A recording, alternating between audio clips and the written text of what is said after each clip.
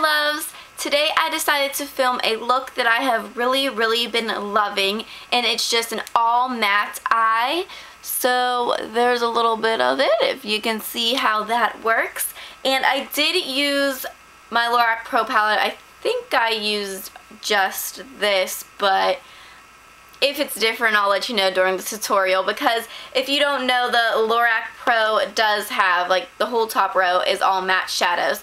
And I love just all matte looks. I think that they are gorgeous. And then since I use, like, a mauve color on my lid, I decided to go with a purple lip. And that is Riri Boy by MAC, which is from Rihanna's matte collection. So I'm really loving this, and it is also a matte lip. So as if I haven't said the word matte enough, this is a completely matte look. So if you don't like stuff like this, I'm really sorry. Um, it's just kind of what I wanted to do today. So that's all I really have to say and let's just get started. As always, I'm going to use my favorite eyeshadow primer and that is Urban Decay's Primer Potion. I'm using this all over my lid and up onto my brow bone. For my first eyeshadow, I'm going into my Lorac Pro palette and taking the color Mauve, which is obviously a mauve color, so it's purpley brown, and I'm just keeping this on my lid, not going above my crease. And now I'm just taking my large blending brush and I'm going to blend out the edges.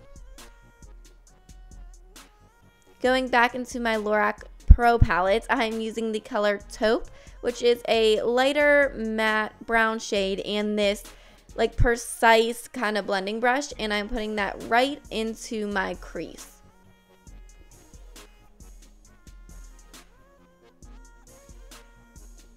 And now, of course, just blending that out. I'm going to blend after every eyeshadow that I use for this look.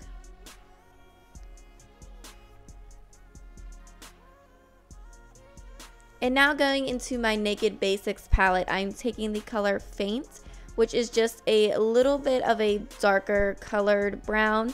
And I'm using a very small blending brush and putting this right on the outer corner of my eye and just a tiny bit up into the crease.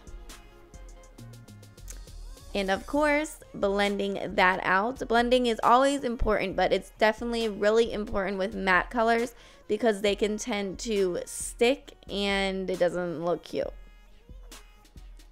And now I lost a little bit of that mauve color that I originally put on my eyelid, so I'm just touching that up. Now again, using my Lorac palette, I'm taking the color Cream and putting this in my inner corner to really brighten it up. And then I'm also using it for my brow bone highlight.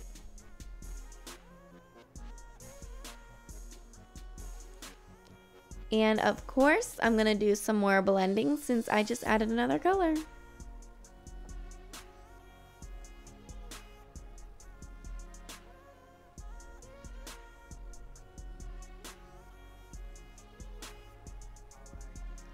Now I'm just using my Maybelline gel liner in the color Blackest Black to tightline my upper lash line and my Maybelline Line Stiletto also in the color Blackest Black to do my normal wing liner.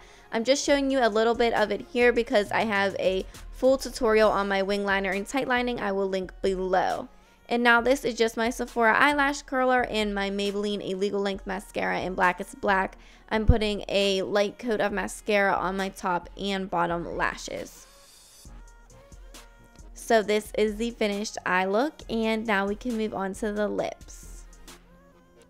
For lip liner, I'm using a nude lip liner and it is L'Oreal's Colour Riche Lip Liner and it's called Beyond Pink, but it's seriously just nude.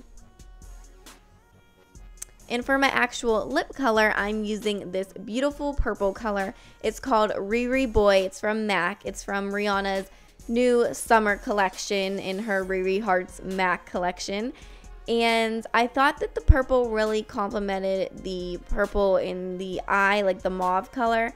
So that's why I wanted to go with that. And I don't know, I've been loving this lipstick so much lately. So this is the finished look.